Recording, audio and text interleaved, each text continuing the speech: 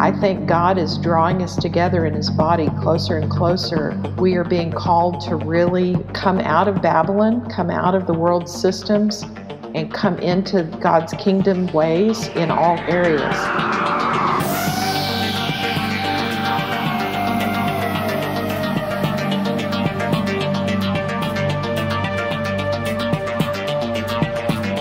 Hey, this is the Unrefined Podcast.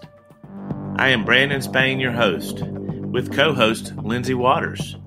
Welcome to another episode.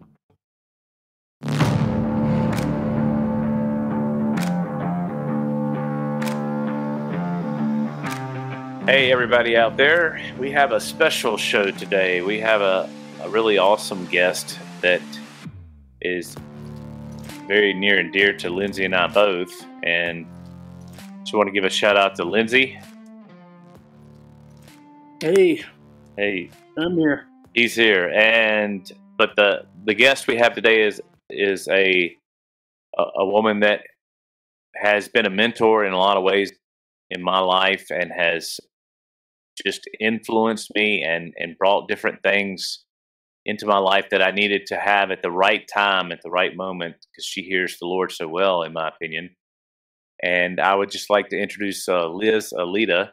And what we're going to kind of shoot for today is, is sort of a, a primer on spiritual mapping with spiritual warfare, you know, what it is and, and, and that kind of stuff, and its implications to be eh, practical in our lives, some practical ways we can implement it both individually and communally, and the impact that it'll have as we do as we do the mission that God has put all of us on. We're all on mission. So, welcome, Liz, to our show. Thanks. It's good to be with you. Yeah, hey Liz. Hi, Lindsay. Thank you. Would you start out, Liz, just by uh, there's so much that, that you've been involved in. I just uh, I, I want you just to start out, just introduce yourself a little bit and some of your journey and and what led you to getting into what we're going to talk about today. Well, it's kind of interesting, Brandon, because I will be celebrating 40 years in missions this year. My husband and I got married in 1979, and the Lord kind of had us on a fast track discipleship. Um, we had done uh, ministry in our local church and got involved in crisis pregnancy ministry and in the political arena related to the pro life areas. And we just began uh, also at the same time getting involved in short term missions trips. And we began to see more and more that, well, first of all, we were learning that all of life was meant to be under the lordship of Jesus. And as we saw that, we realized, you know, the issues are heart issues, spiritual issues, um, that it wasn't, uh, in terms of pro life, it wasn't about we often felt like it seemed like they were casting it as the problem was this baby but to us the problem wasn't the baby unwanted or unplanned pregnancy but it was a broken or a lack of a relationship with jesus christ mm-hmm. and so it sent us on a journey wanting to share G- jesus who jesus is and how to walk with him so that kind of began it so we've been now 40 years involved in ministry overseas around the world. Uh, my husband passed away two years ago now, a little over two years ago. Uh, and I'm still involved in now with my youngest daughter and her husband, who are full time also with me now. So it's uh, the journey took us to um, the Himalayan area for a while. And in the 90s, we were uh, discovering, along with a lot of other people, Luke 10 and began to see some small movements start um, where disciples were making disciples and fellowships were multiplying fellowships. And I suppose that's where we began to explore the idea of spiritual mapping and understanding why darkness lingers where it does, as George Otis Jr. says. And um, so we've been involved in um, partnership facilitation, uh, especially focused on unreached people groups around the world, and in uh, prayer training and mobilization, and also training and coaching church planters, focusing on igniting movements to Christ. So that's kind of a quick overview. yeah, wow, that's mm. an overwhelming overview. You've been you've had your hands in so many different things, which is is awesome. I mean, I, I think it's incredible how the Lord has used Tom and you, and now you. Um, I miss Tom. Think about him pretty often, honestly, when I get to going on my Bigfoot tirades. So he's my. so uh, I just knew him that one weekend, and I, he uh, he impacted me as well. I enjoyed being around him. You know, one of the uh, I've been part of a women's Bible study recently. We've been doing Philippians, and the verse that talks about He who began a good work in you will bring it to completion until the day of Jesus Christ. And they were talking in the study that, you know, even after your death, God continues bringing forth fruit from what He's sown into the kingdom through you.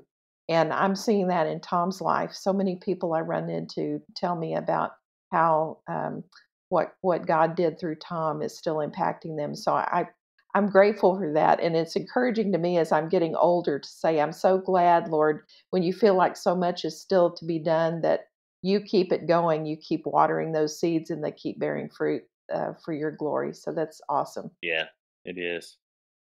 Well, let me let me ask you a, one of the first questions I want to on, on the agenda here is, um, all right, it's kind of two part. It, you know, could you give us a brief synopsis of spiritual mapping, like you know what it is, et cetera, stuff like that, and then also to piggyback on that, if you were going to write a book, because there's so many books out there on spiritual mapping, and I think there is a bibliography on your website, which we're going to post your website in our show notes, but also we're going to I'll let you give it at the end. But there's so many books out there on spiritual mapping if you were going to write your own book, Liz, practically with what you've learned, what would you include and disclude? What have you learned and unlearned? Maybe that's two questions. Let's just split it up. So just go ahead and, and give us a, a, a brief synopsis of spiritual mapping and, and how uh, you learned about it and what you've learned and just the general details if you can. Well, to to just understand what it is, um, the term you're using, spiritual, or the terms you're using, spiritual mapping, it was first coined by George Otis Jr. in 1990, and he defined it as superimposing our understanding of forces and events in the spiritual domain onto places and circumstances in the material world. That's pretty complicated. I'll go back back up a little bit and talk about how I began to explore this area of how the supernatural and the natural overlap. And I would say it certainly goes back to a prayer journey that we took in 1993 with jo- George Otis Jr. It was part of the first sets of prayer journeys that were taken into the 1040 window in 1993. Um, now, what is what is the 1040 window? Yeah, in the 1990s, Luis Bush had uh, was calling the church to recognize that there was an area of the world that seems to have a very high percentage of uh, people that are uh, like poverty, people from the major non-Christian world religions, um, just an area of the world that seems like the gospel has not yet penetrated really well. And so it ran from 10 degrees north to 40 degrees north and uh, from the west coast of Africa across to the east coast of Asia. So it's just kind of a rectangular box, and they coined the, the term 1040 window uh, to just indicate it was something like 80% or 90% of the world's least reached people groups live in that area.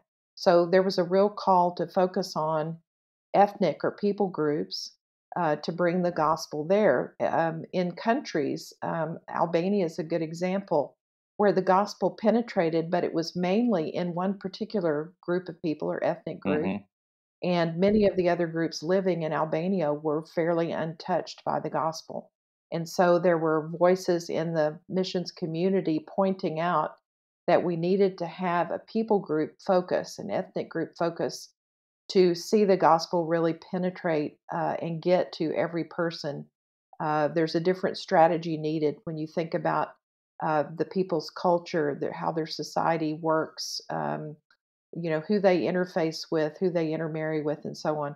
There are bridges that have to be crossed to, for the gospel to be successfully shared and to see it grow up. So uh, that period of the 90s, the AD 2000 and beyond movement, uh, really was at the forefront of calling the body of Christ to recognize these gaps and to focus hmm. there. Okay, thank you for that definition. So just to to keep going, so we were part of that early wave in 1993. Did a prayer journey to North India, Nepal, Bhutan, and Tibet. Uh, as I said with George Otis Jr. It was very eye opening to me. He was doing a lot of interviews that ended up in his book called The Twilight Labyrinth. Excellent book, and I, I recommend it highly. But he was trying to understand why darkness lingers where it does. And um, he was looking and doing interviews uh, with people that had experienced supernatural. Uh, they'd uh, been raised from the dead. We saw him interview one man that had had been uh, beaten and thrown in a river and uh, was on the funeral pyre about to be burned. And a woman prayed, and God raised him up, raised him up from the dead. And now he was an evangelist wow. uh, in Nepal. Incredible to meet him and hear his story. And others like that that had experienced tremendous um, moves movements of God on their behalf. Another fellow that eventually um, came to be on our board for a time was a Tibetan pastor. He had been a Tibetan monk, Tibetan Buddhist monk, mm-hmm. had come to faith in Christ, and was telling us he lived in a little community in northwest India. He had seen a commotion in the village when he and his wife went down to see what was going on, and there was a monk inside a home levitating about six feet off the ground. He was cross legged and he was licking a live coal.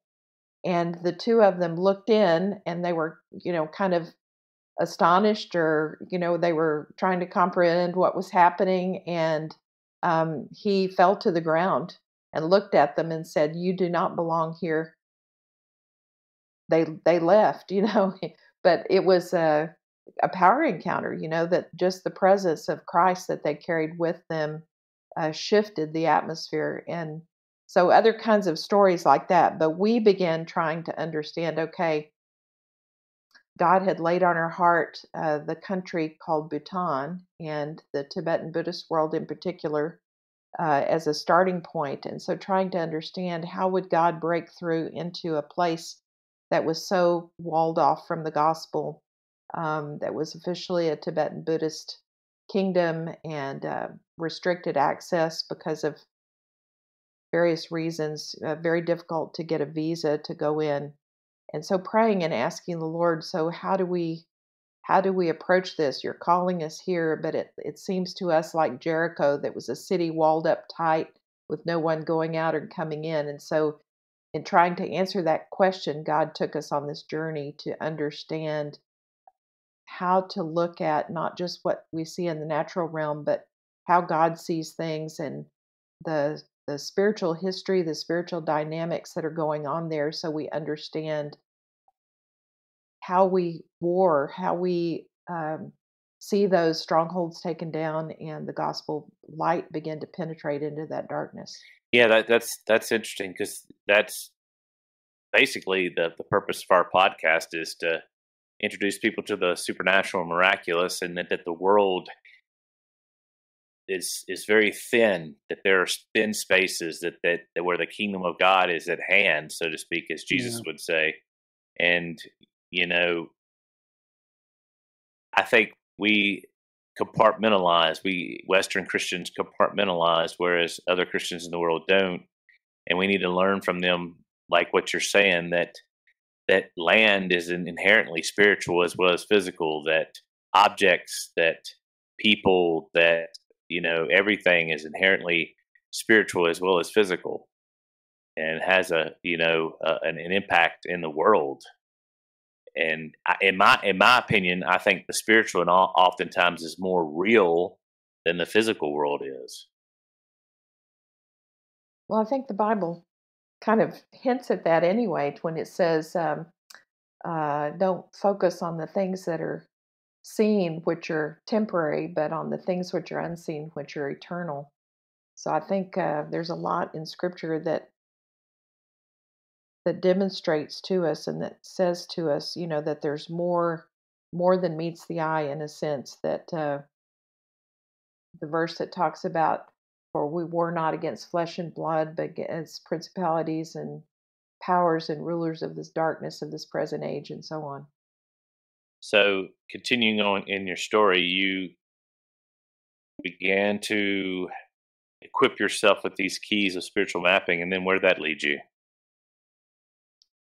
Well, we we um, the prayer journey itself, I think, was uh, an interesting experience because I had not ever um, honestly done prayer walking like I experienced it with that group. There was a group of between 10 and 20 of us that went together. And so we began the days, you know, praying together and worshiping and just orienting with the Lord, focused on the Lord, and then trying to discern, you know, what were His instructions for the day.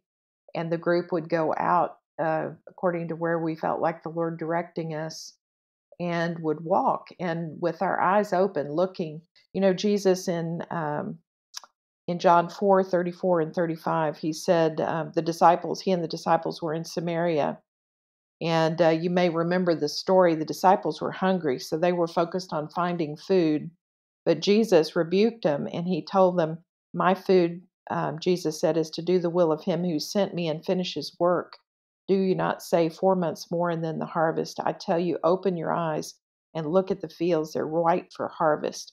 Um, some versions say, lift up your eyes.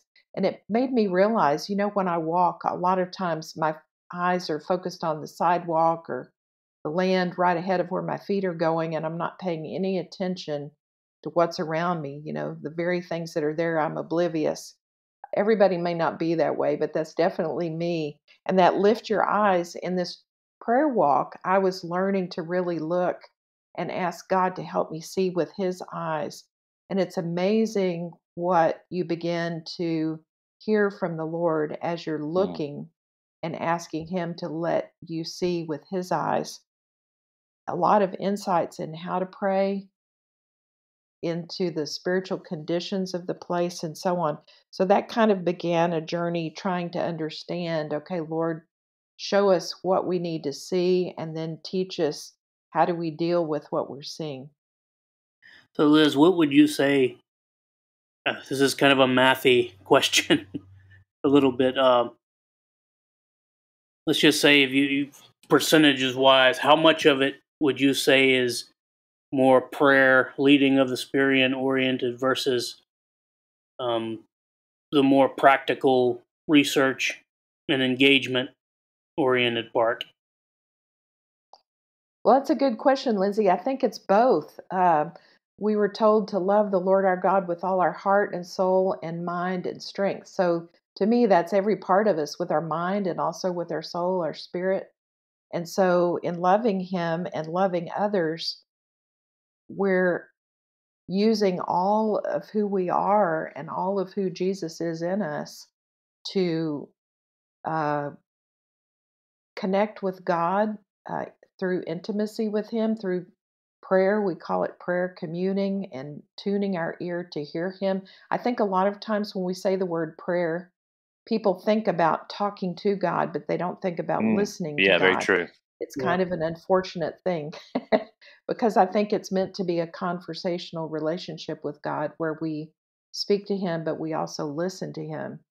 And so it's a combination. I think He teaches us and shows us. And when we, I used to think you have to teach people to hear God, and I've decided that's not right. People hear, they just don't pay any attention mm.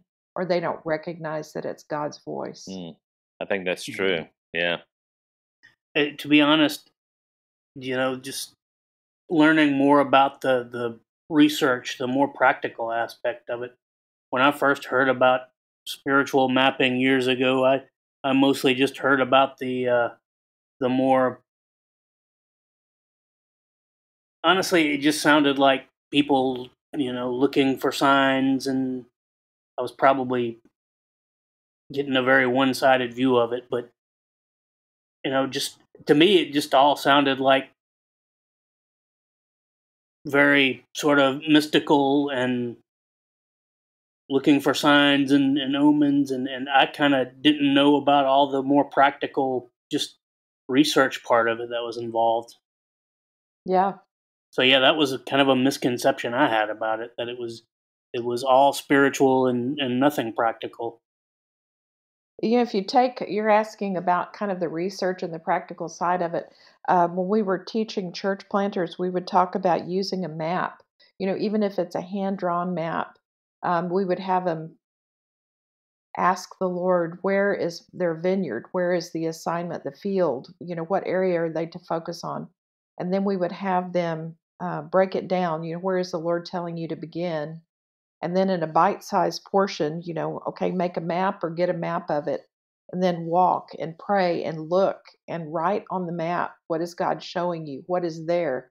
Are there churches? Are there temples? Are there idols? Are there occult centers or um, drug or alcohol centers or places of crime or immorality and so on. And just looking, when you put it, record what you're finding on a map, a story begins to come. You'll find that darkness seems to cluster together. It's very interesting. Um, you can do this even, you know, in your own wherever you are, your own little hometown. Just start putting on a map and identifying places of light, places of darkness, you know, from a biblical standpoint, that's not too difficult to discern. Yeah. And then begin to ask the Lord, okay, Lord, what am I seeing here? And you'll begin to, the Holy Spirit will begin to show you uh, what you're seeing is beyond the physical reality. You'll begin to see into the spiritual reality of what's happening there. Yeah, that's fascinating. You can also, you know, when we talk about the practical, I'll go on and mention you can use a calendar because uh, we're not only uh, geographically oriented, there's time, mm. right? Mm-hmm. So if you think about um, calendars, certain festivals or rituals or pilgrimages and so on, there's certain times of the year when uh, things happen marking that on the calendar and pay attention you know what's going on now what are you sensing in the spiritual realm during that season of the year there's certain times that darkness seems to be more prevalent. And you can do that with a calendar as well as with a map.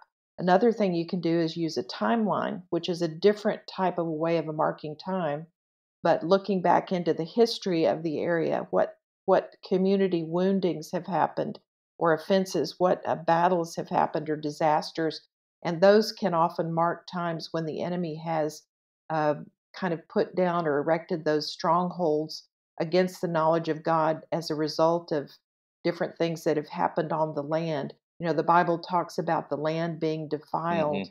And that begins to open up another dimension of what's been happening in the spiritual realm and that has attached itself to certain areas. So, different, it's like different lenses that you can look through to perceive beyond what you're just seeing in the physical. Yeah, I find that interesting. Um, you're talking about the time aspect. Lindsay and I both have been kind of doing a deep dive into the. I don't know if you're familiar with this uh, old true crime case, but it's the West Memphis Three. It was these three little boys that were murdered by these three teenage boys who were accused of being satanic involvement, occult involvement, and stuff. And one of the interesting things is they were let out because Hollywood did a big move to to basically thwart justice and get these murderers put out of jail. That's my opinion. Uh, I'm just saying that.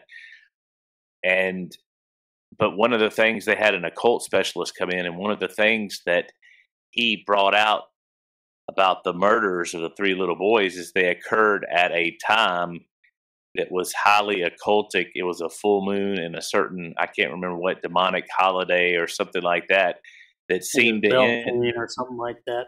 Yeah, that, that that's yeah. that certainly indicated that, and so I, you're right. It's like certain times can be defiled as well. Times during the year that need to be cleansed. Uh, Halloween, the, the different you know solstices, the high high satanic days, even I've heard what the witching hours, what three to three to five in the morning. You know that that Yeah. there's certain times of the day that are even defiled. So I, I found that fascinating. With and, and this is all encompassed in this whole spiritual mapping thing you're talking about with the different lenses.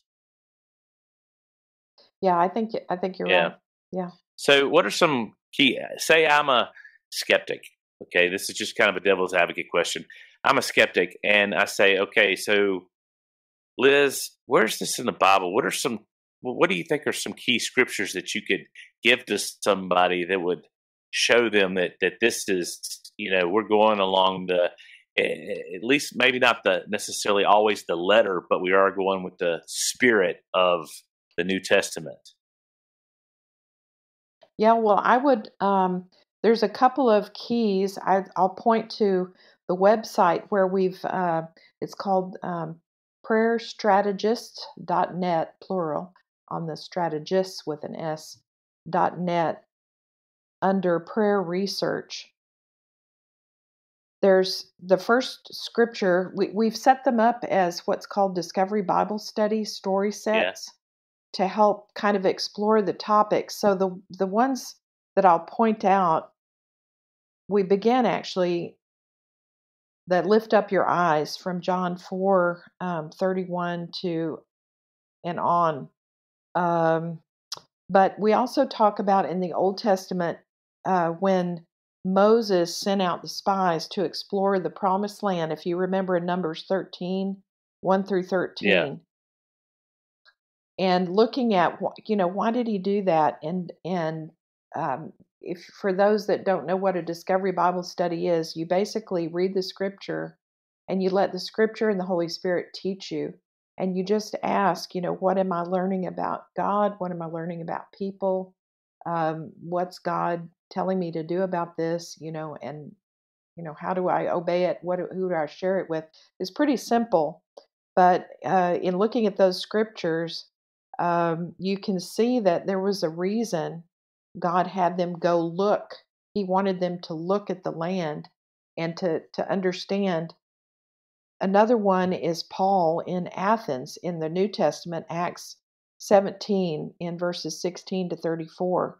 Um, Paul apparently, when he came to Athens, it says that he walked about the city, and then he begins that discourse um, presenting the gospel using the idea of the unknown God, the God that they were worshiping but was unknown to Hmm. them. And so it's another aspect of the idea of praying and walking. God can give you strategies to present the gospel through bridges to the gospel that are already there. You know, the Bible says He set eternity in our hearts. Yeah.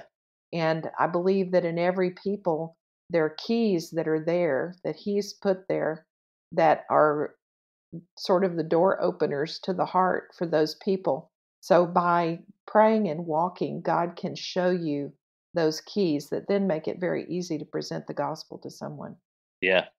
Well, and I also think about too, and you know, our, our mutual friend Neil talks on, and and I I've been trying to talk him into doing a, uh YouTube video on this, so maybe I can get him to do it on praying for uh what is it uh, binding the strong man in an area when you go in and prayer Mhm. walking and and uh I think he has a book on it on Kindle. I'm not sure, but I've been trying to to get him to do a, a YouTube video on it. So, what do you think about that whole that teaching uh, as it relates to spiritual mapping, binding the strong man in area? Well, again, yeah, Neil Neil talks about that very often when you begin to walk and pray in an area, uh, God will bring you up in in an encounter with the the strong man. You know, which often uh, the enemy uses a person to wield his power. He can't. The spiritual realm has to operate through humans. Mm. So, um, someone or some group of people are being used to exert authority over the area on behalf of the enemy. So often, um, like you could think about in Acts 16, when the woman uh, with the spirit of divination, some of the versions say spirit of Python or Pythoness, was uh, harassing Paul, and uh, he eventually casts the spirit out Mhm. um, it, I think that's an example. Um, uh, it ended up landing um, Paul and Silas in jail. But then, on account of that, they led the Philippian jailer and his household to the Lord. So God used that, even that situation where uh, he delivered the girl, but then it landed him in problems. But even that problem produced more fruit for the kingdom. So I think that um, principle is a is a powerful one. And and again, like I say, prayer walking. Um, when you think about it in terms of praying and walking, and not not praying in the sense of talk, talk, talk, but mm-hmm. listening and looking and letting God tell you what are you seeing, what's the realities there, how should you be praying into it, how should you be addressing it, what strategies are there to me, that's the real value. And then, of course, often meeting the person of peace. Um, strongman is one side of it, kind of the negative side of it, the, the barrier or those that are standing against the gospel. But there's also those whose hearts are prepared for the gospel that are waiting for the person of peace, for, for the person, the messenger to come to present the gospel. So both sides uh, can come from putting yourself out there, being on the streets and among the people, um, to be able to see the gospel breakthrough in that area. Mm. Yeah. So, Liz, I kind of told you about one of my misconceptions, um, just that it was all spiritual and not very practical. Can you think of any other kind of misconceptions you've encountered when you just talk to people about spiritual mapping? Just like what, what how do people react when you when you first even mention the term to them? That's kind of why we changed the term to prayer research because yeah. spiritual mapping sounds creepy or ethereal or otherworldly or whatever. Um, but it's very clearly in the Bible. You know, you just have to have eyes to look at it, really look and see what you're reading. And I think that's one of the advantages of, of studying the Bible with others in a group setting where you're sharing what are you seeing you know what are we really seeing here what's going on and actually uh, actually but, getting their input actually yeah. getting their input you know yeah. instead of just a talking head telling you yeah. you know yeah yeah definitely and i think then the practice of doing it you know you obey and then you see um, when you do what god's asking you to do he's not going to explain it to you ahead of time but when you obey, often the understanding comes after the understanding follows the obedience.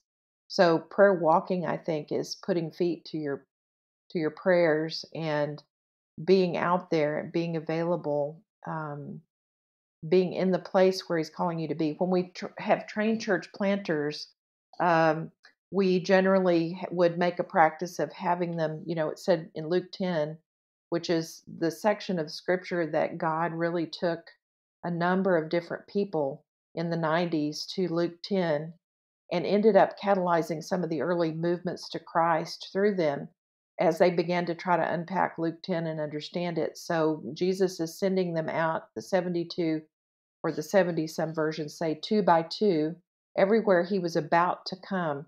So, how did they know where he was about to come? Well, they had to start in his presence, mm. right? So, for us, that means we want to start at his feet, listening to him and saying, okay, where are you sending me to? Where are you about to come? And then going out with a partner is always a good idea because one person might notice one thing, the other person knows something else.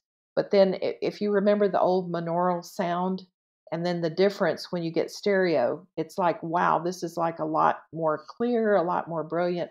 The same with the spiritual revelation, I think, is that you get two people, you get the confirmation of witness, and we would find that uh, as they would pray together about where was God sending them, sometimes one would have a picture of a place, the other one would have a picture of a person. Mm.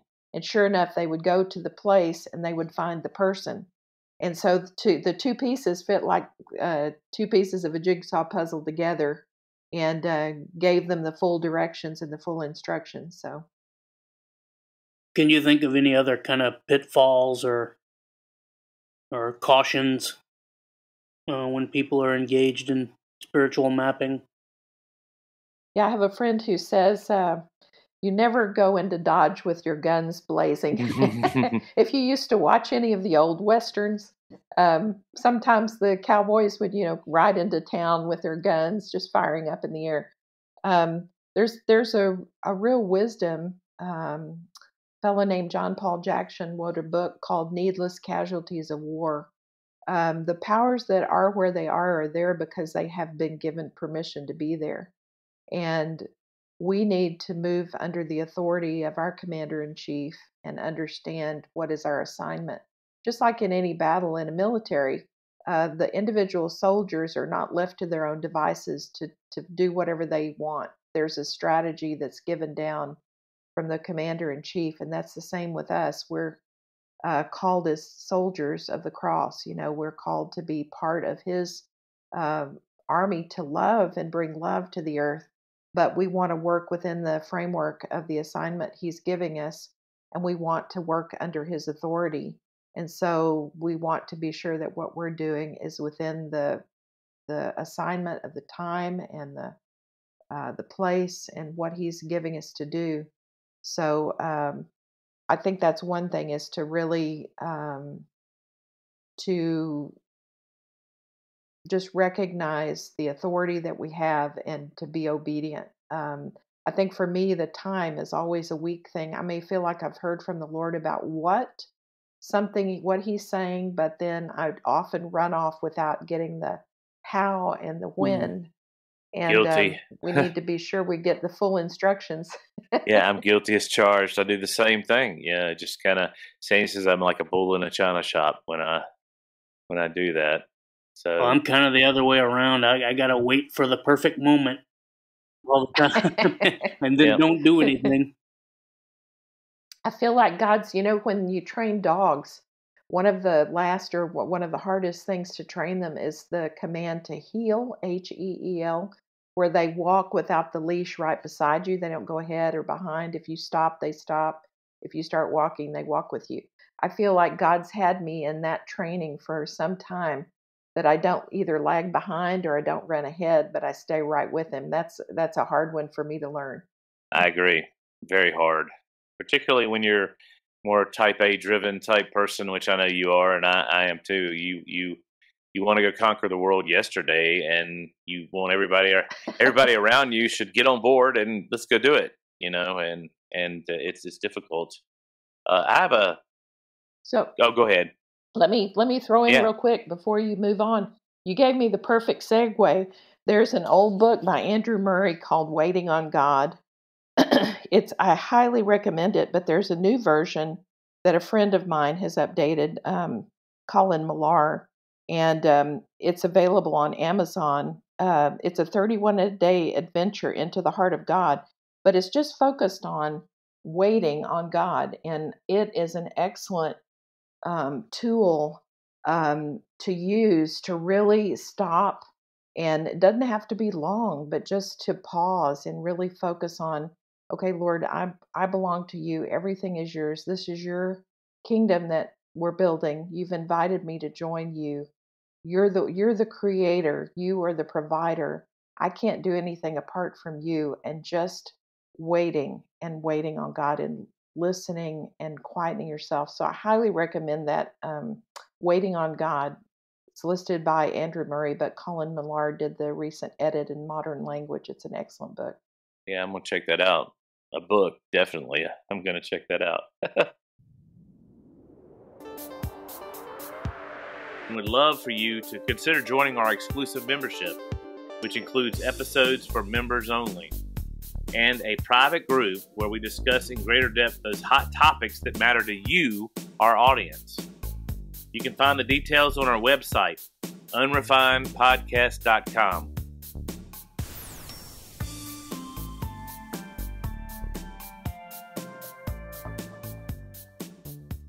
Lindsay, uh, do you have anything right this second, or I, I kind of have something if you don't have anything right? Shoot. I'd like to it's it's kind of a dual question again and, and, and it fits together is why I want to ask it is I just wanted you to speak to the importance, which you kind of have about the two by two, but speak to the importance of teams when it comes to the prayer research or spiritual mapping. I'm gonna start using prayer research too. Uh, yeah, that's a great term yeah, for it. And uh, maybe a less less the red flag raising term, well, maybe. maybe perfect for our podcast, though. Yeah, we're kind of weird. Sandy and I do inner healing, and we've pretty much bopped that word out of that because so much baggage, you know. So we just call it prayer, prayer, either healing prayer or prayer counseling, you know. But yeah. uh, so we understand yeah. the terminology gets bad juju attached to it, so to speak. Uh, but the other one is like speak to the importance of teams when it comes to spiritual researching. But then I want to give you a hypothetical that you can kind of. This is kind of difficult, but not not that bad. Like if a group goes into an area to start a movement, what's what are the what are some of the first steps that you would tell them to prepare the ground for ministry? Well, I'll back up way back in the 80s, 1980s. Um, there was a group that began teaching about a role called a strategy coordinator, or they also called it non residential missionary. It was developed because they were realizing more and more of the world were restricted access, where for someone wanting to go in eh, to bring the gospel, it was not possible uh, you you know some places you can still go on a missionary visa but many parts of the world now more so now than even back in the 80s you cannot and it has to be uh, brought in other ways creative ways. So there was a training that uh, my husband and i had gone through and it talks about the four pillars that the gospel comes and i think that's still true today that it comes through prayer it comes through scripture and literature, media. Uh, it comes through, um, I will say, media is another one, uh, which would include all of the new tools, all of the tech type varieties now with uh, uh, chips for your phone, all kinds of other things like that, and then interpersonal witness. Um, but we would begin researching um, to better understand, you know, if God is calling us to, say, the the Bamar uh, Buddhists of Myanmar, uh, we would want to know as much as we could find out. Um, if God's sending us there, you know, who are they? What's their history, and so on, before we ever get there. But once you get there and you're on the ground, of course, a lot of times you're trying to learn language, you're trying to get uh, integrated you know into whatever place you're going to hold in that community um, but having a team uh, i mentioned earlier about the two by two how you can go from just one person kind of like that monaural sound to like stereo. Well if you have a team take it up even a higher notch to like the uh, dolby sound or the surround sound you know that's even bigger. I think listening together and working on something together with a team so that all of the fivefold gifting can be part of it, um, all the different perspectives. Each of us bring a different perspective that can really enrich your understanding. Plus, you think about the scriptures in Ecclesiastes, for example, that talks about a threefold cord is not easily broken um, and the power of agreement. Um, Jesus said, if two or three of you agree is touching anything, then you have it. Um, so I think there's there's a lot of aspects to community. God called us into community. Um, he calls us into a family, and so He's um, pleased to invite us in to work with Him. And I think that's part of the ethos of kingdom is that we work mm-hmm. together mm-hmm. as part of community. We complete one another. So there's a lot of strength um, working together as a team, and each one can bring their unique giftings and skills and abilities and perspectives. And it just, uh, many hands make light work. Mm-hmm.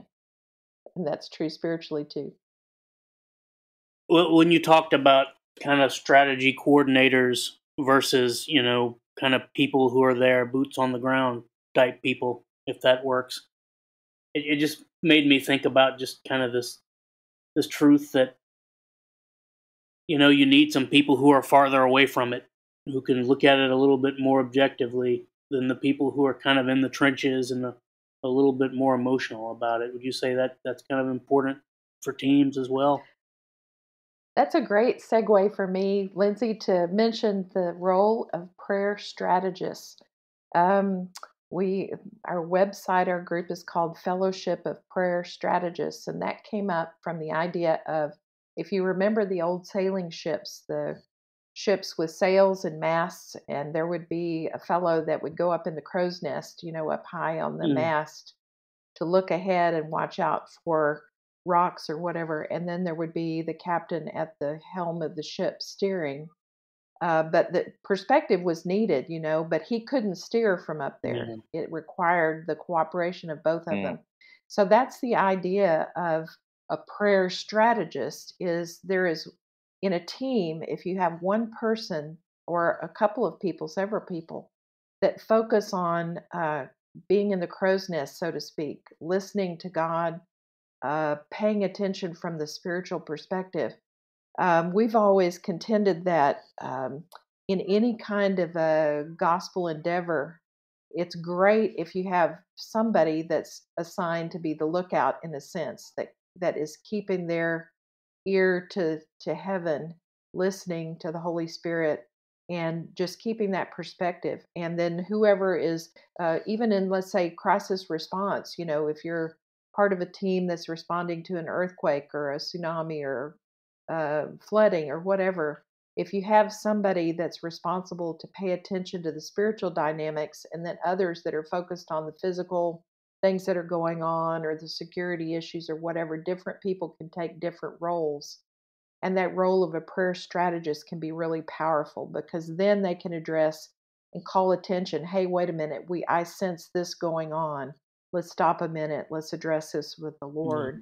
And it can really cut through a lot of the opposition spiritually and help accelerate the process um, that God's taking us through. So, same for church planting movement or disciple making movement teams. If they have those that function in that role, they just are taking that assignment to really pay attention to what's happening in the spiritual realm. What are the spiritual dynamics?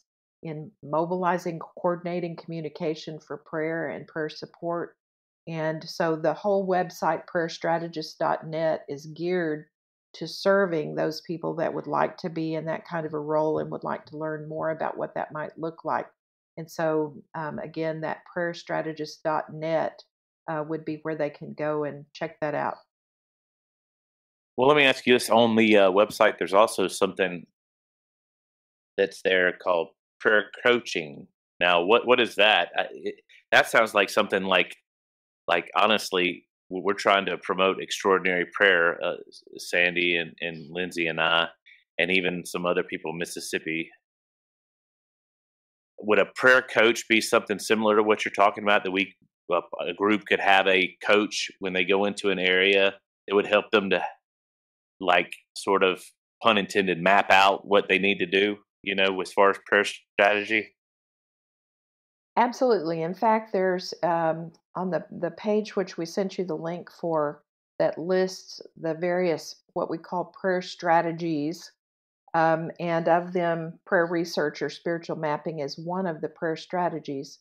We have coaches that have been trained and experienced, and uh, we have some that specialize, like Brandon, you and Sandy definitely with uh, we call it um, prayer and healing or, or um, um, when you think about um, all the aspects of health and uh, welfare and well-being of a team or an individual that's one of the prayer strategies is prayer as as member health yeah.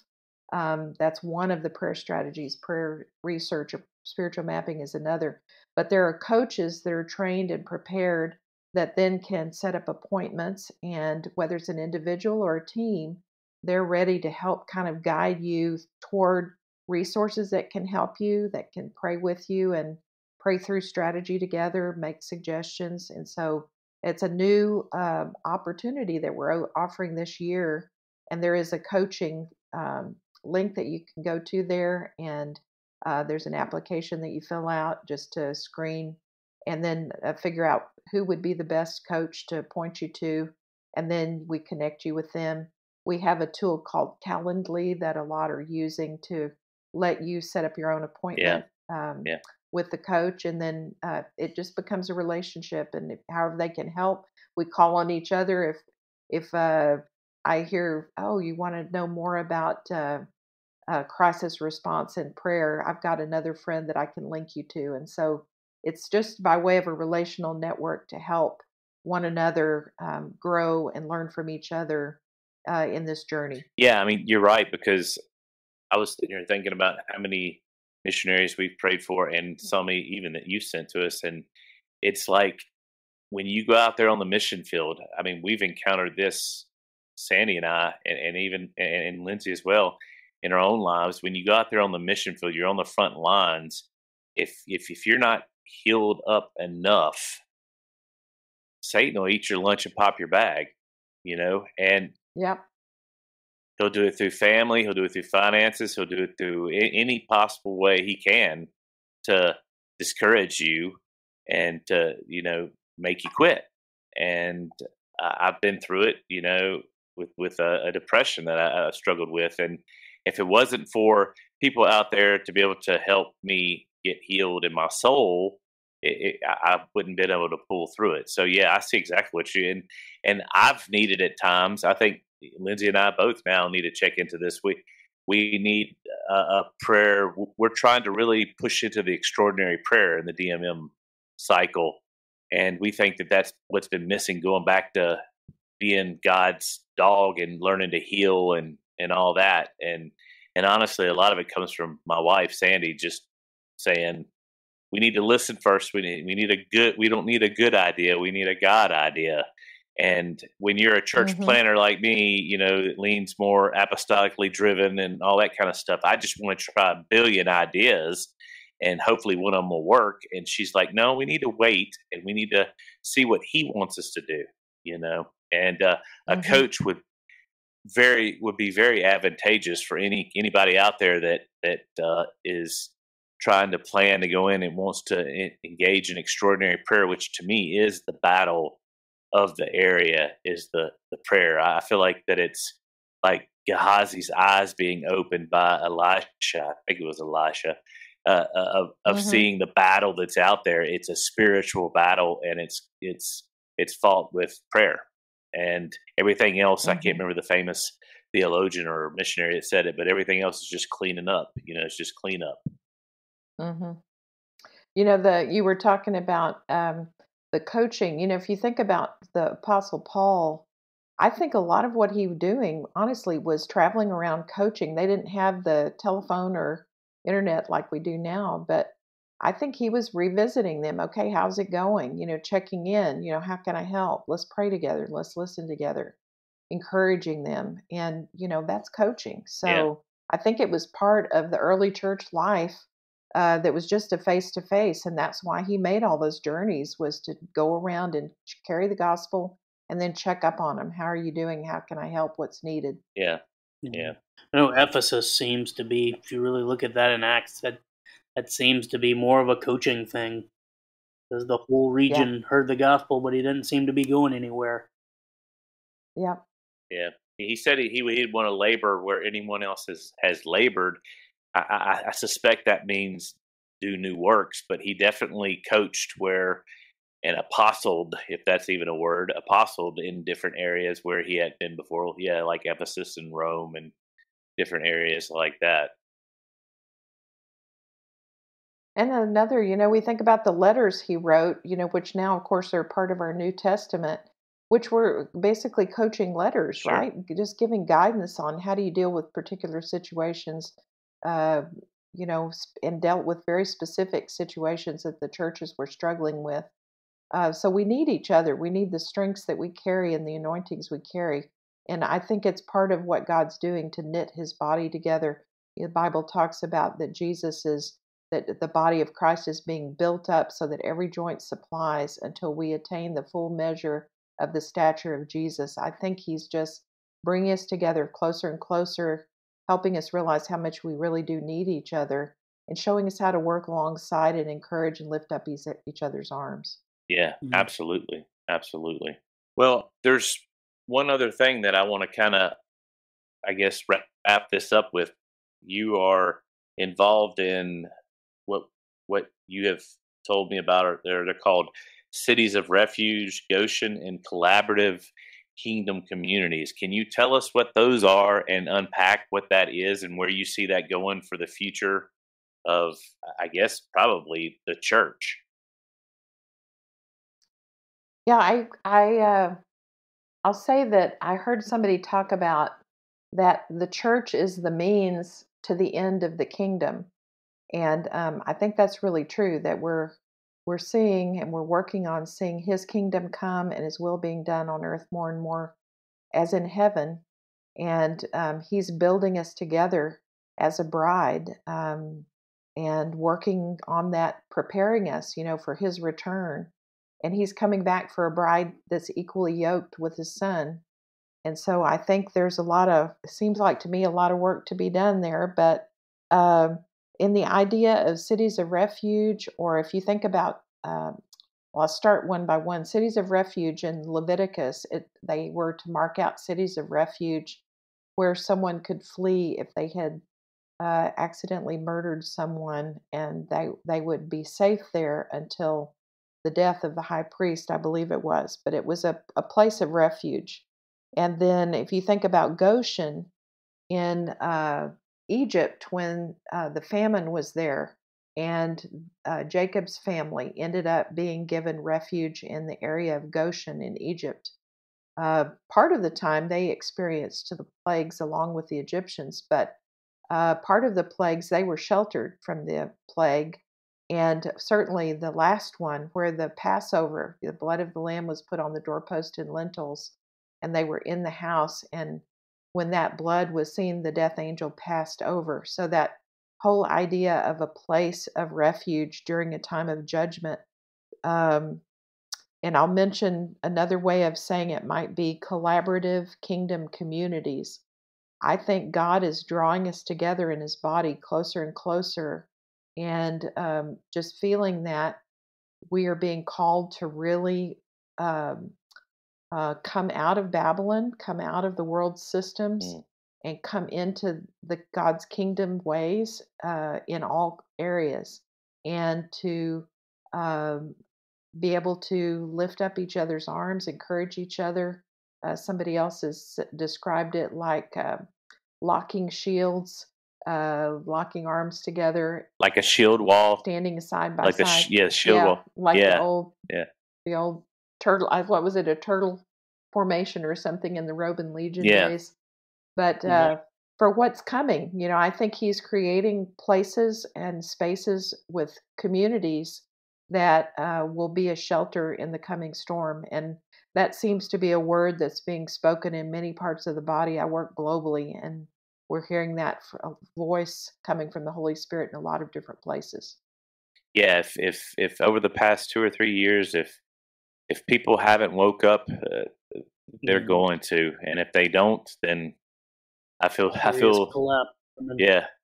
I mean, it's it's quite obvious that the world is different. The world has changed. I think about there's this line in Lord of the Rings at the beginning, and I, I don't ever get it right, but basically it's one of the elf women is translating and saying the world is i can feel it in my bones i can feel that the world is different i can smell it i can taste it you know and mm-hmm, mm-hmm. the world is it's different you know i know every generation seems to say that i think though that this time it's it's exponentially different i mean that's just my opinion so but I, I do yeah. know that on the elitist and this is going a little conspiracy a little bit, but on the elitist or New World Order timeline, 2030 is a big deal. So we got seven years of what they have planned or what they're they're trying to do to transform and change the world. That that kind of makes it seem even more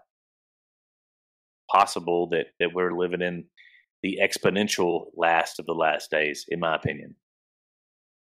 Yeah, there's a uh, we were just on a call earlier this morning. Um, they were talking about, you know, the situation that happened with Damar Hamlin, yes.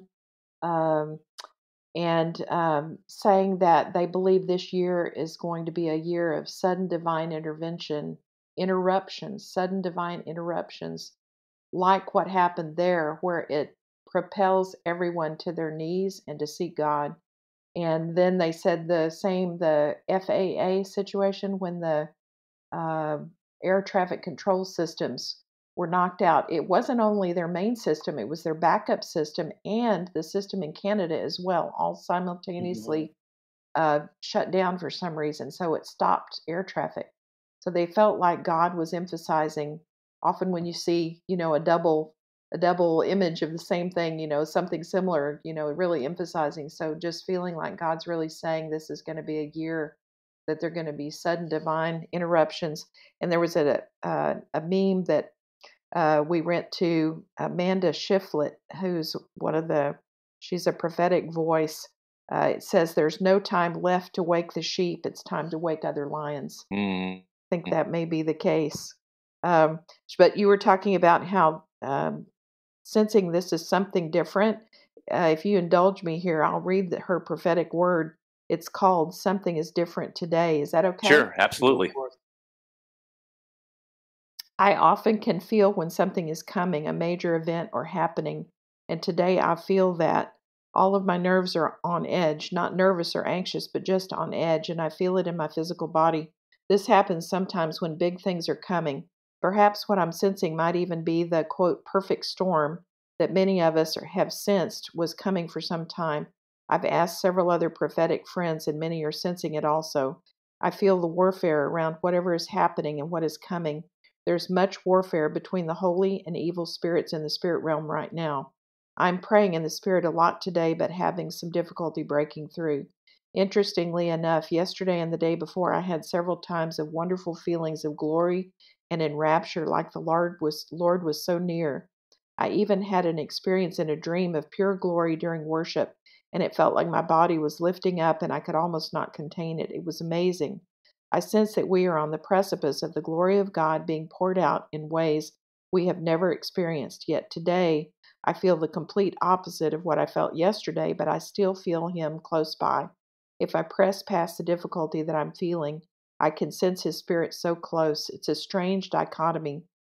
Darren and I are in a time like many of you of fasting and prayer and pressing in for what the Lord is wanting to do and what He has for us. And although I have done many fasts, this one feels different.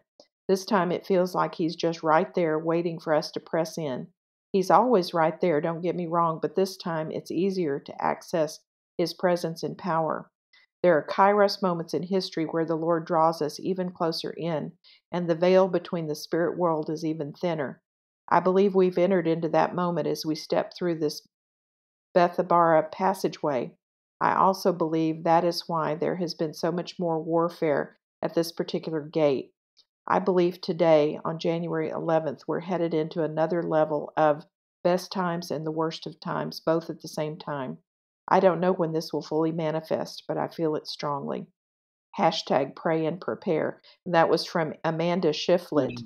from her Facebook um, post. So sounds like what you were saying, um, Brandon. Well, what's interesting is uh, I know Sandy's bells are going off in the background, ding, ding, ding. We just did two days ago our our podcast, our episode that we did was on spiritual prepping, and we went through. Lindsay and oh, I yeah. did a uh, took the passage in Matthew. Was it uh, twenty five, Lindsay? Yeah, I believe so. Yeah. Yeah, about the the the, the wise and the and the foolish virgins and and their oil and intimacy and you know connection with the Father we're going to have to in these end times be a part of communities that are all we're all together listening and healing H E L L I N G to the, the spirits moving, or we can miss. You know that the, the, the scriptures say that even it's going to be so deceptive that even the elect get get you know confused or or befuddled from it. And yeah. I, yeah. I, I, believe personally that, that we're sealed and, with the Holy Spirit and saved and, and all that kind of stuff. But I, I don't want to get off track. And he came the first time in a way that, that, you know, mystified everyone. I, I think this end time situation is probably going to be entirely unexpected. I think a lot of people have theorized different things, but it, it's going to be something totally out of our wheelhouse, I think, in a lot of ways. Yeah, that's been definitely one of the words we've been sensing was uh, the verse about suddenly I do a new thing. It suddenly springs forth. Do you not perceive it? That that the things we've done in the past will not work now. That it's a new thing, and we have to be tuned in and ready. And the Isaiah 61 through 3 Arise, shine, for your light has come, and the glory of the Lord rises upon you. See, darkness covers the earth, thick darkness is over the peoples, but the Lord rises upon you and his glory appears over you. Nations will come to your light and kings to the brightness of your dawn. So it's that both and. It's not light or darkness, it's light and darkness, both at the same yes. time. Well, mm-hmm. uh, let me ask you this. I, I want you to kind of go into to, to more detail, if you would, about the. I mean, it's going to take the collaborative kingdom communities to to to be able to do this uh, in the end. Can you kind of unpack what does that look like practically, or what have you been involved in that has shown you what a collaborative kingdom community is? Well, um, my history in this is fairly short, but um, I would say that as I'm having the Lord unpack it, I'm realizing, okay, a lot of it God already had us doing to some measure as we've done, uh, as we've been missionaries and done church planting movements, um, you tend to automatically work in community and you, you're you're put in a place where you don't know what to do so you have you're in desperate dependence upon the lord so you're put into a posture of listening and if god if you don't show up we're sunk because nothing's going to happen you know so yeah having to seek the Lord. But we went to a, Tom and I went to a training in South Dakota led by a fellow named uh, Craig Cook. He's got a book, which unfortunately is out of print, but it's excellent. It's called Places of Refuge Mercy in the Coming Storm by Craig Cook. If you can get a hold of a copy, I highly recommend it. There's um, another one that's um, talking about uh, places of refuge, building building cities of refuge. Um, but this other one by Craig Cook, I would say, is probably my top top favorite. Unfortunately, like I say, it's out of print. There are some copies floating around, but they're ridiculously priced. Um, but my understanding is that I'll give you some examples from history. The Moravians, for mm-hmm. example. Would be an example of a community of refuge or a, a, a kind of a Goshen. They were actually fleeing from persecution in one place, and Count Zinzendorf often offered them shelter on his estate. And then that became a collaborative kingdom community. And they, um, prayer was at the center of it, extraordinary prayer. They, from that place of prayer, God brought reconciliation among them. Um, they were experiencing God um, showing them how to live together as community. They educated their children. They raised up, trained, and sent out missionaries. Incredible model, 100 years of unceasing prayer. Yeah. Another example would be things like the Underground Railroad during the Civil War days that hid and sheltered um, and helped uh, slaves, you know, escaping. Another example would be um, like the Corrie ten Booms, the ten Boom family during Nazi Germany. Uh, that was same the hiding and fleeing of Jews out of uh, Germany. Um, there was a group called the Bielski Brothers. There's a movie made about it called. Um, okay, now I'm going to lose it. Daniel Defiance. Craig. Defiance. Thank you. Uh, that talked about the Bielski brothers that uh, helped shield several thousand Jews in the forests, and they never were able to be found. And they had a whole community, a mobile community with blacksmiths and schools and shops. And I don't know how they did it. It was incredible. Um, but those are just some of the examples. But like you say, Brandon, I think it was look different for each person and their situation. And I think there are groups that are being called. Curtis, you mentioned Curtis Sergeant, and their family has been working on a, a, a combination kind of retreat center and kind of self sustaining community um, where he is. Um, and there are others. Neil and Dana, I think, are another, and there are others. Um, our community here there's a group of us that feel God's had his hand on this metropolitan area and that we're to be preparing ourselves as a Goshen or city of refuge. So we're together trying to explore okay, Lord, what do you want us to do? What does that mean? So we're in that journey right now ourselves. You know, Lindsay, mm. this this reminds me of when we interviewed Frank Viola and he was talking yeah. about one of the missing ingredients in in rapid multiplication that rapid multiplication is is we, we've got it wrong we're trying to go too fast instead of develop and mature a community before we reproduce before we plant other communities and that's more acts more old test i mean more new testament oriented and i see that lindsay in what she's talking about with through these uh, yeah. collaborative kingdom communities what do you think yeah i agree um it's you gotta have.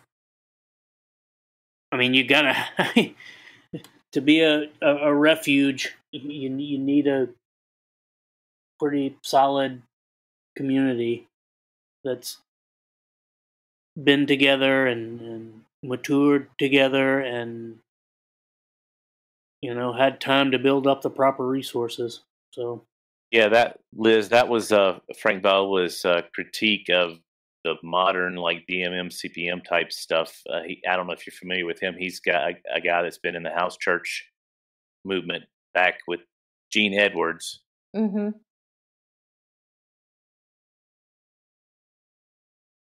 And also with Neil Cole and a lot of those guys but one of his critiques, and and it really hit home when we interviewed him, to me, is that this rapidness of multiplication leads to immaturity, which leads to you know unsustainability, which I have seen. I mean, Sandy, Lindsay, and I have seen it even in what we've done through many groups and all that kind of stuff. And what he's he's advocating is is not that we don't do the steps in the DMM process, the extraordinary prayer, the people peace,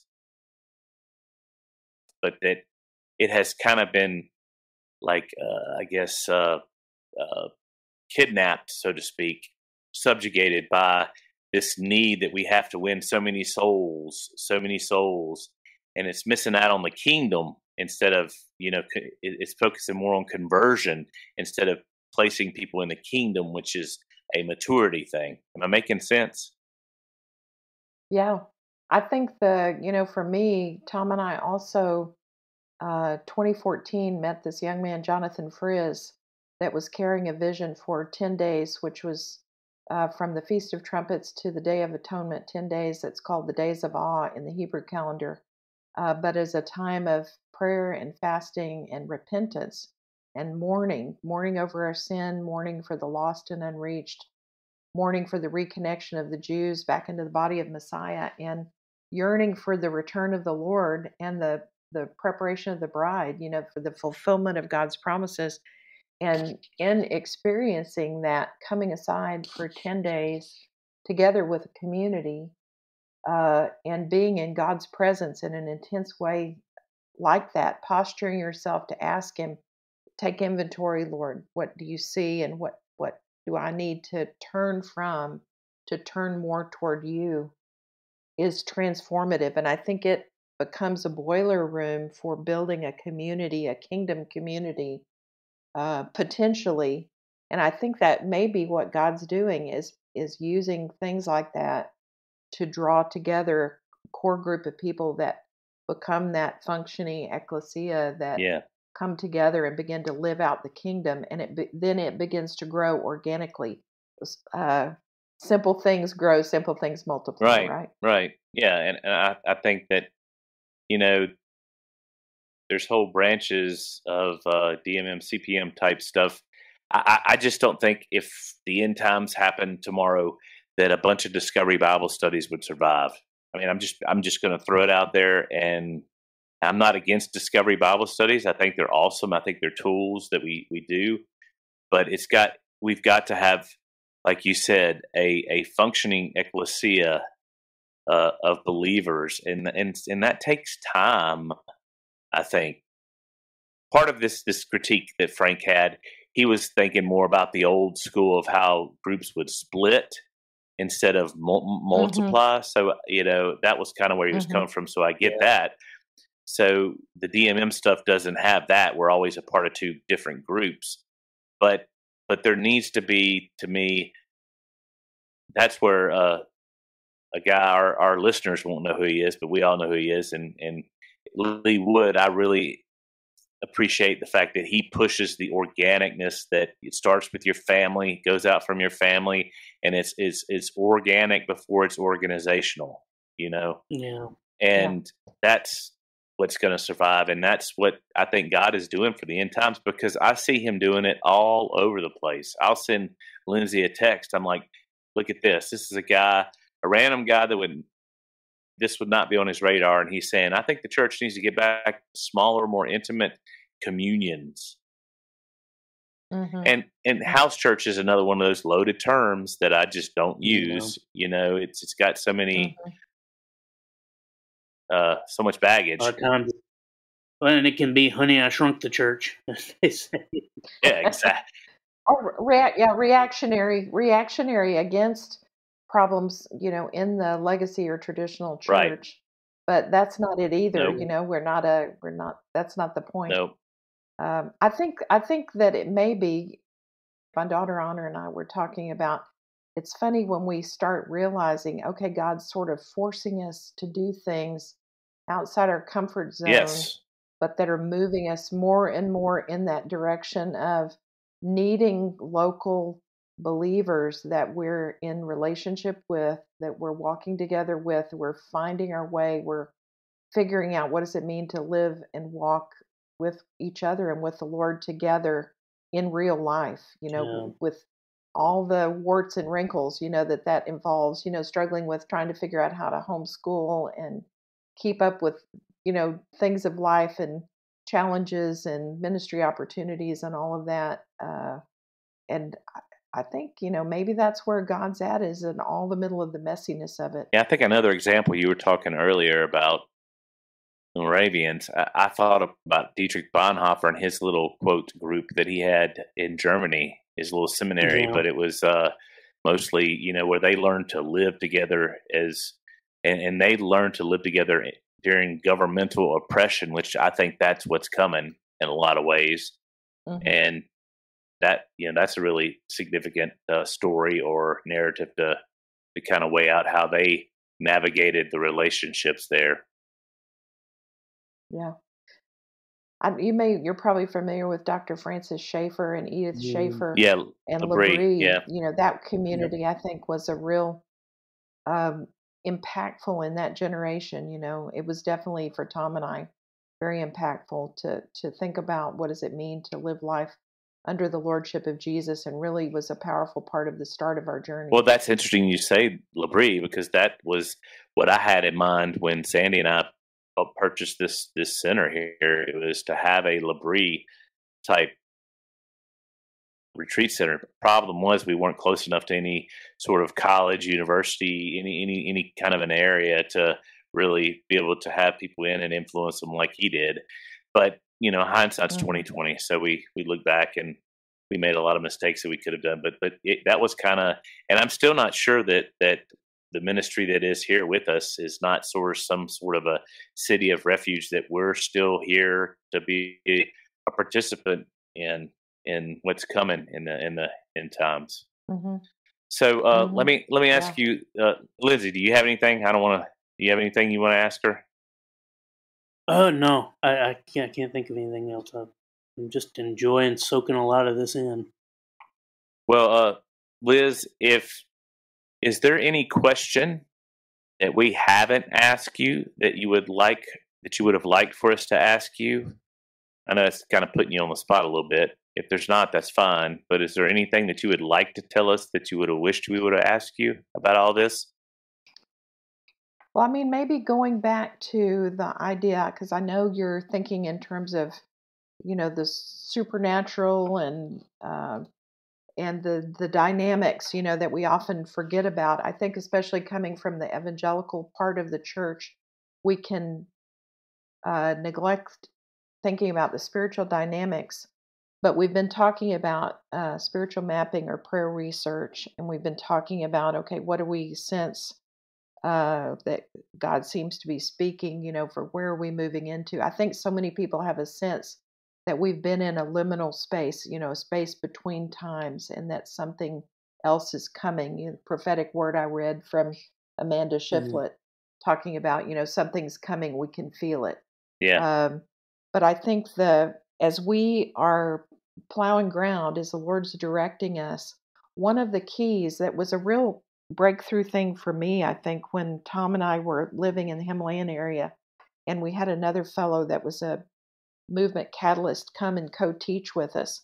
And he was talking about a couple of verses that I had not really stopped to think about, where he talked about um, where uh, the story Jesus tells about the man that was delivered of a demon. The demon goes and wanders in waterless places, comes back and find his founds his place clean and empty, and he goes and takes seven others. And the state last state of the man is worse than the 1st mm-hmm. And thinking about that when we are prayer walking, when we're using these tools, you know, to see areas opened for the gospel, we need to be mm-hmm. occupying. Mm-hmm. Uh, you know, God uh, told Moses, I'm not going to drive out the peoples ahead of you or the wild animals ahead of you all at once, but little by little as you're able to occupy. I think that's an important thing that we forget about or don't or we ignore um, as we're working that um, hmm. God's give God's building our capacity to occupy as we're taking territory, taking ground, and as our capacity is increasing, then He's giving us more ground. So, again, going back to us getting ahead of Him, you know, we need to be moving with Him as He's opening up territory, opening up the hearts of people, that we're filling it with the Word, filling it with the Spirit of God, that the kingdom is coming and occupying, that we're not leaving it empty. Um, and there are just some stories, you know, about practical examples of areas. Uh, for instance, a young fellow was working in India had prayer walked through some areas and was seeing the numbers of temples diminishing, the numbers of idols diminishing. But then he realized by the time he got back around to some of the ones he had done, quite a large area, that the people were more resistant to the gospel rather than less. And he he felt that that was some of the principle is he had opened it, but he hadn't occupied it, so that had become even more entrenched. Mm. Um, wow another part is um, he who does not gather with me is like one who scatters is another verse and thinking about um, that we need to have the intentional plan to gather the harvest in you know if you plant uh, so i can tell a personal story on myself uh, we had lived and we were living in costa rica and i had gotten this book about square foot gardening and so I had the fellow that was helping us there set up all these square foot gardens with all these vegetables and stuff I had planted. And we ended up uh, needing to come back to the United States. And uh, as we were leaving, I got this feeling from the Lord that this trip is not going to be what you think, that you won't be coming back. And it was just an odd, you know, just a sense that kind of dropped in my spirit. Sure enough, we had things happen and we weren't able to return. Uh, and so that we had worked, worked and worked and planted all that stuff, and it just went to waste. Um, you know, we weren't able to gather it in, and uh, in that case, you know, it was a lot of work planting and sowing, but then not being able to gather in that harvest. So, I think that that whole idea of walking in step with God and occupying the area He's giving us, and and letting Him grow our capacity as we're moving and also having that intentional plan together at the same time. Two really important pieces that I don't hear spoken about very much, but I think they're really keys to seeing his kingdom coming and being established more and more. Um, you know, as we're looking to share the gospel, share the good news, share the life of the Lord with others. Those are, I think, two keys to keep in mind. Yeah. Interesting. Well, let's uh we're getting into a I think we need to land this plane, get into the time of landing this plane. Yeah, And uh, Liz, uh, we appreciate it so much. We appreciate Yeah. everything that um, you've given us all this knowledge. You know, you just given us a knowledge download, and just want to thank you for coming on our show. There is one thing we usually do at the beginning, but uh, I'll let you do it at the end, and, and then we can wrap it up. If you can do it briefly, that's the key. We usually ask people, you know, what is the most supernatural or miraculous thing that you've ever seen? Can you do that like in five minutes? Yeah, I can. Um, supernatural or miraculous. I mean, I could probably tell you several stories. One of the things that was astounding to me, we were visiting in uh, India near Delhi, and we're just walking through. Our family was being led uh, around an area that had um, old ancient buildings, uh, and there were stairs that where you could go up kind of on the upper level, and it overlooked uh, the the kind of the grounds below. And I had walked up, and I was just kind of wandering around, and I looked over the edge of the wall, and down below it was quite a ways down, so it must have been probably maybe the equivalent of three or four stories up. So I was looking, and it looked like a fellow was laying down, but he was high in the air. And another fellow, he was about the height of uh, the other fellow's head, so maybe five, six feet off the ground. But I was trying to figure out, I didn't see any platform or anything. And um, I was kind of staring, just trying to comprehend what am I seeing. And all of a sudden, he falls to the ground. There wasn't anything under him. He was levitating Mm. and it took me by surprise but they looked up at me. I was a good distance from them up and over. I hadn't made any sound. And they both looked up at me like angry like i had done something. And i pulled back pulled back over the wall. But i realized it was an example of just the power of god in us disrupts the darkness. And it was a shock to me to see that. And it was a shock to realize oh my gosh this guy's just floating in the Mm. air. Is this a Tibetan you know, Buddhist again? it was in it was in india so probably could have been hindu in that area. It was a lot of hinduism but there's a lot of in the himalayan area there's a lot of overt manifestation of demonic power that was very disconcerting for me as a westerner that's been brought up on the secular humanist theory about no there's no such thing as the supernatural. So um, that's kind of the negative side but also the positive i guess in that apparently the power of god i hadn't prayed i hadn't spoken i was just trying to figure out what was happening but the presence of god in me apparently disrupted that whatever was happening there so Yes, yes. Yeah. See, that's awesome. That that that's a good way to end the podcast. Just to show that the just just us being carriers of His presence, the light inside of us pushes away the darkness, and and, and even if we have to know what is true, which could be the darkness out there, we still the light will prevail, and that's what we want to leave with everybody out there. The light will prevail, and I want to thank Liz again and thank my co-host Lindsay. Yeah, thanks, Liz. good to be with you